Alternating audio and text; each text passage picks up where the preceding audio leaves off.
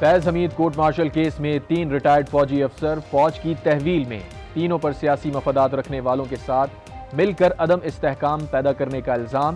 ذرائع کے مطابق تینوں ریٹائرڈ افسران پیغام رسانی کا کام کرتے تھے۔ سیاسی جماعت اور فیض حمید کے درمیان رابطہ کار تھے۔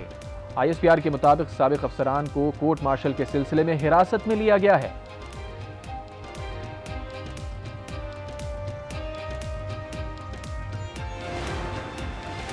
تینوں ریٹائرڈ فوجی افسران کے نام سامنے آ گئے۔ تحویل میں لیے گئے افسران میں دو ریٹائرڈ بریگیڈیئر اور ایک ریٹائرڈ کرنل شامل۔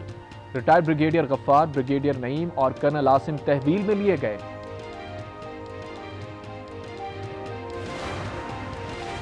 شر پسند عناصر عوام اور مسلح افواج میں خلیج پیدا کرنے کی کوشش کر رہے ہیں۔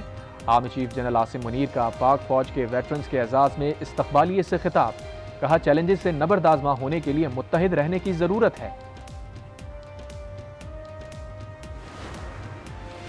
فیض حمید کا احتساب اچھی بات ہے۔ فیض حمید سے تفتیش فوج کا اندرونی معاملہ ہے۔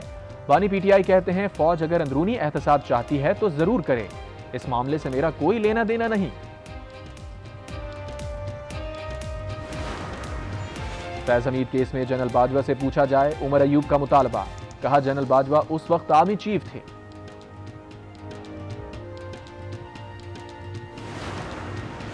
نون لیگ کے مشاورتی اجلاس میں فیض حمید کی گرفتاری کے بعد کی صورتحال پر غور، نواز شریف کی زیر صدارت اجلاس میں وزیر اعظم شہباز شریف، وفاقی وزراء، وزیر اعلیٰ پنجاب شریک ہوئیں۔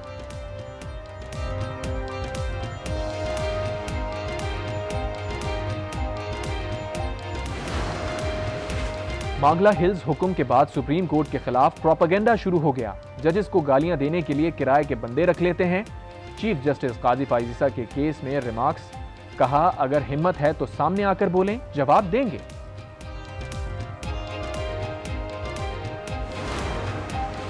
ساتھی جج نے سخت آرڈر کیے تو حکومت نے اس کے خلاف پروپیگنڈا شروع کر دیا۔ جسٹس میاں گل حسن اورنگزیب کے پی ٹی آئی کے لاپتہ کارکن، فیضان کی بازیابی کیس میں برہم۔ ریمارکس دیے سمجھ نہیں آ رہا، یہ کیا ہو رہا ہے؟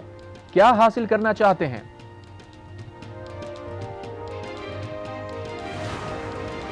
ملک میں انٹرنیٹ کچوے کی چال چلنے لگا، صارفین بے حال۔ آن لائن کاروبار کرنے والے سخت ذہنی کوفت کا شکار۔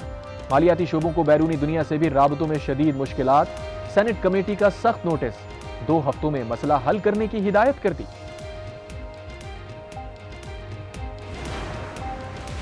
ارشد ندیم کی کراچی میں بھی واہ واہ، انعامات کی برسات۔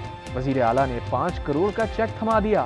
کراچی میں ایک سڑک ارشد ندیم کے نام سے منسوب ہوگی۔ گورنر ہاؤس میں شاندار استقبال۔